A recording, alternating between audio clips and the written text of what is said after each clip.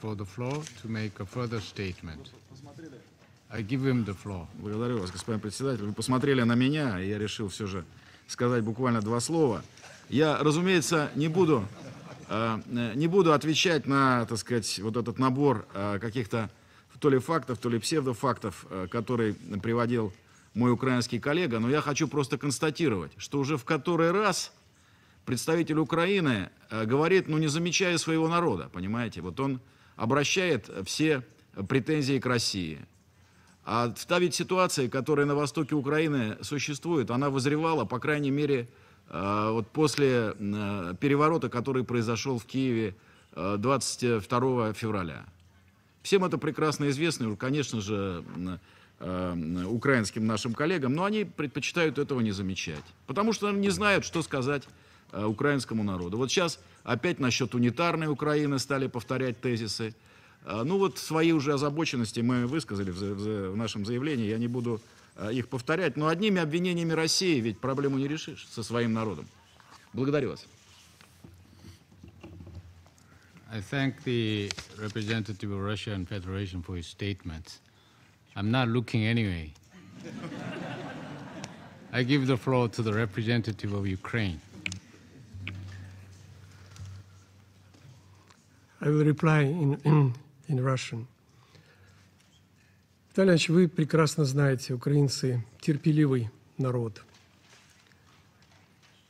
И мы найдем всегда решение, как договориться. Но для того, чтобы договориться, нам нужна стабильность.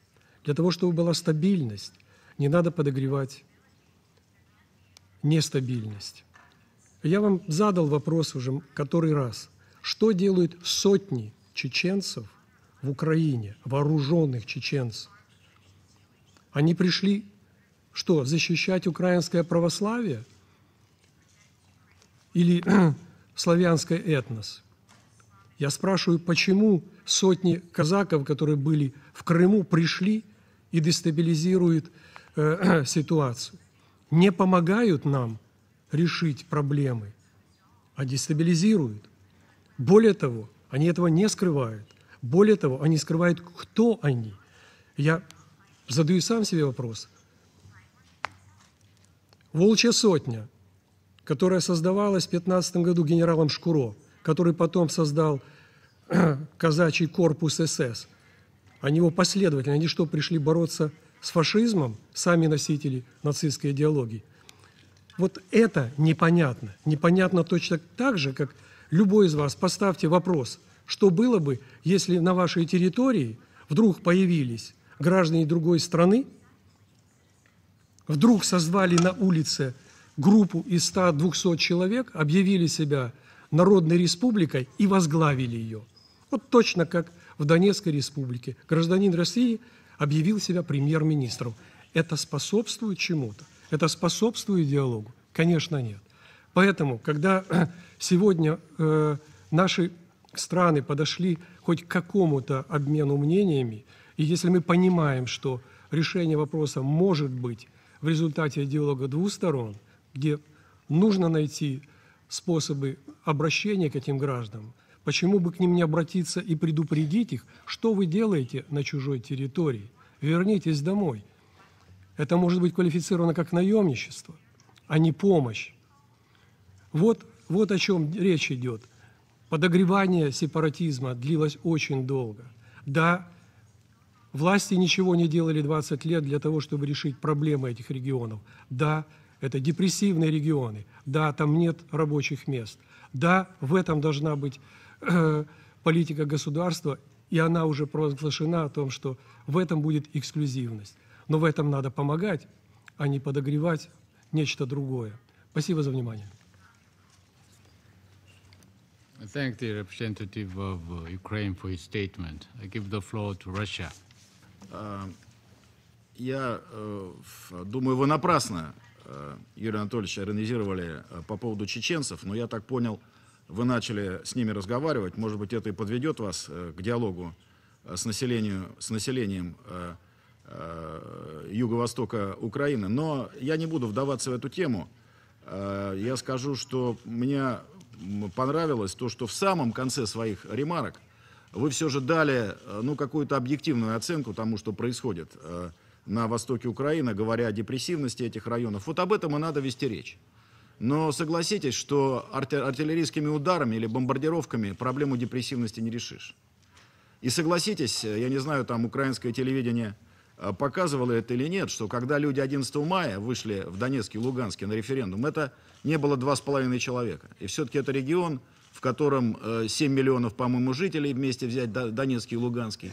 И абсолютно ничего было, не было сделано для того, чтобы наладить с ними э, какой-то уважительный диалог. Но вот если какие-то события э, необычные, так сказать, произошли, которые хоть ваше внимание к этим регионам привлекло, но хотелось бы, чтобы вот это внимание вылилось э, э, в какие-то конструктивные действия, а не в то, что мы наблюдаем э, в последнее время. Прекратите эту операцию военную, и тогда мы поможем вам наладить диалог. Так мы об этом все время и говорили, кстати сказать. Мы об этом все время и говорили. Давайте наладим диалог. Россия готова э, помочь наладить диалог. Э, Россия приехала в Женеву, вот создали мы документ. А что мы увидели от украинских властей, от киевских властей? Мы увидели проведение карательной операции, а вовсе не ре- не реализацию Женевского документа. Так что в том, что касается диалога, мы всегда были готовы э, его помочь вам наладить, и сейчас э, готовы помочь наладить. Будем надеяться, что эм, вот эта вот операция воинская будет как можно быстрее прекращена, поскольку, конечно, пока она идет, как мы можем помогать вам какой-то диалог налаживать э, с восточными регионами, когда там стреляют? Очень сложно нам о диалоге говорить.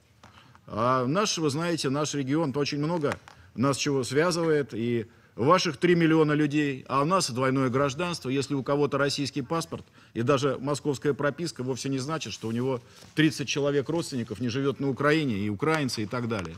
Я уж не говорю о том, что там очень трудно разобраться, кто там украинец, кто русский, наполовину русский, наполовину украинец. Вам это все прекрасно известно.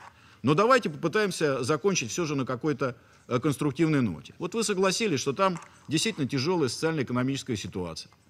А, И на Восточном, про Крым вы тоже упомянули, уж вы, коль скоро вопросы задаете, я не могу не э, задать этот вопрос. Вот вы так заботитесь о Крыме, зачем вы воду-то перекрыли? Взяли и перекрыли поставки воды э, э, в Крым. И так экономически после 25 лет пребывания в независимой Украине там дело э, плохо. А вы еще перекрыли поставки воды. Ну вот вы признаете, что социально-экономические э, положение плохое в восточных районах. Давайте вместе э, э, попробуем решить эту проблему. Давайте сотрудничать. Действительно, Украина, Россия экономически давайте сотрудничать. Вы помните, какие большие предложения мы серьезные делали все время, и в частности даже в самый последний момент перед тем э, госпереворотом, который у вас совершился э, 22 февраля. Вы от всего этого отмахнулись. Сейчас вот говорите, давайте закроем границу с Россией, там, выйдем из СНГ и так далее. Ну, наверное, можете это сделать. Э, Не будет свободной торговли тогда с нами. Ну, это как бы тема наших э, двусторонних отношений или, может быть, многостороннего сотрудничества, которое в нашем регионе существует. Но пока вот то, что мы видим, это э, силовая операция рядом с границами России э, и э, вот все время нагнетание э, какой-то риторики и политики против России. Это, конечно, не конструктивно. Но я надеюсь, вы э, внимательно читаете те заявления, которые делает наше руководство. Это вполне конструктивные заявления. Ну и э, внимательно выслушали э, и наше сегодняшнее выступление, которое наряду э, с критическими замечаниями и разбором полетов определенных э, содержит и э, конструктивный заряд, э, м, который, безусловно, присутствует в нашей политике в отношении Украины. Так что хотелось бы, чтобы мы эту страницу как можно быстрее перевернули, но многое зависит от вас. И первое, первое что нужно сделать, прекратить вот это э, военное безумие, которое сейчас творится на, на востоке страны.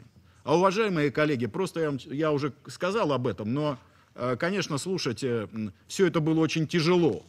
А Потому что вот представитель Литвы, предположим, упоминает, что убили итальянца, но не говорит, кем убили итальянца. Вот все это, э, вот это такая манера, э, когда подоз- подозр- э, итальянского журналиста, я имею в виду, вот такая манера, когда что-то исходит от украинских силовых действий, об этом как бы и не говорится, да, как бы и не говорится. Даже уважаемый представитель Люксембурга, которая, как известно, очень много про гуманитарные вещи говорит, э, мало чего по этому поводу сказала.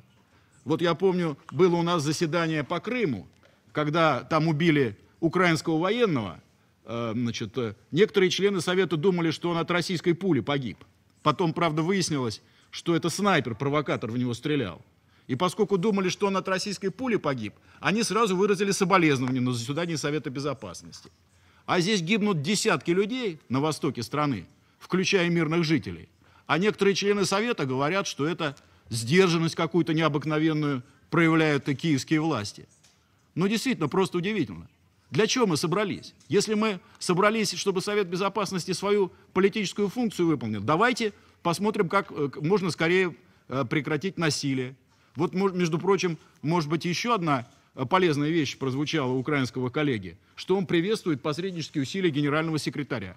Может быть, действительно генеральный секретарь подключится немедленно, немедленно к тому, чтобы прекратить насилие на э, востоке Украины, коль скоро роль э, генерального секретаря приветствует представитель Украины.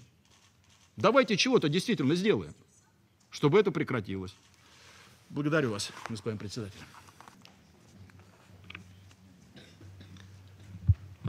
Thank you, Mr. President. Again in Russian. Я услышал, Виталий Иванович, что вы сказали.